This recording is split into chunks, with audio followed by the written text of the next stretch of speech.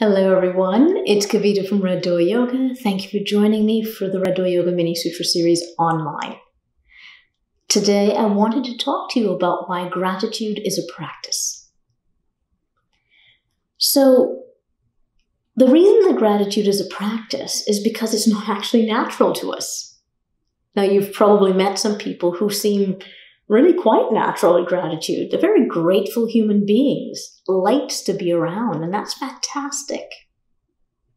But from a brain viewpoint, we're not wired to focus on all the wonderful things around us. We're not. We are focused to pay attention to make sure that we're not in danger.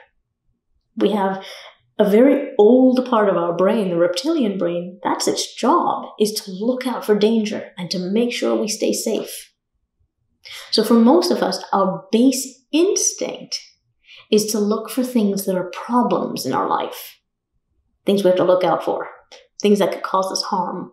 Things that could undermine us in some way, shape, or form, make our life difficult. That's instinctive in us. It's wired into our brains. Seeing things that we need to be grateful for, that we can be grateful for, things that are so beneficial to us, that are taking place even in the midst of things that are threatening to us. That usually requires practice. It takes conscious work. Now, practice means that we're doing it over and over and over and over that we're making ourselves come back to it, meet with it, that we become disciplined about engaging with it. That even though it's not our instinct, that we are reaching for something beyond our instinct, a higher purpose to cultivate this non instinctual thing in ourselves. Practicing gratitude makes us a lot happier in life. Practicing gratitude makes us a lot easier to be around for others, so it decreases suffering, not just for ourselves, but for others as well.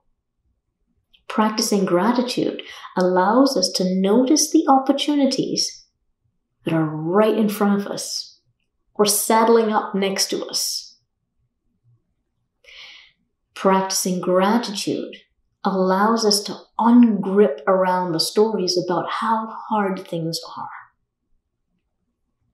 Okay? Now, one of the easiest ways to practice gratitude is to decide every morning to think of one thing that you're grateful for. Sorry. Anything.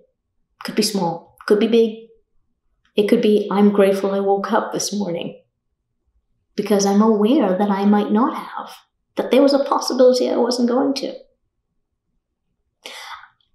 You know, I was out at a meal with my husband today, and I looked up and he had a, a glass of uh, iced tea and there was ice in it. And I experienced gratitude for the fact that I have access to ice and what was interesting was I wasn't trying to make myself feel grateful.